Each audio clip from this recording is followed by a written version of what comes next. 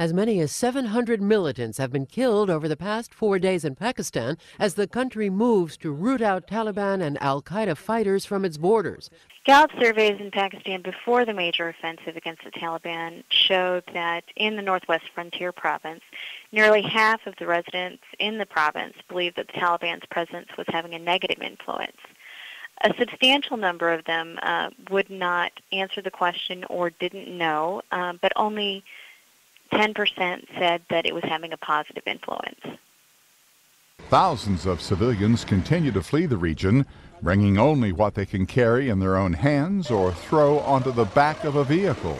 The mass exodus poses a humanitarian crisis. Um, and in the Northwest Frontier Province, a number of citizens were already dealing with, with issues. More than a third of residents at the time um, said they were unable to afford food and shelter.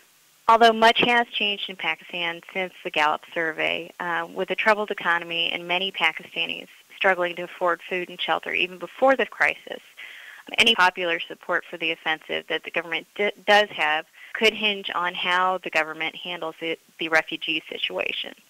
And in the event that the military offensive drives out the Taliban, um, what the government does then will be nearly as crucial uh, to the country's future as the military op- operation.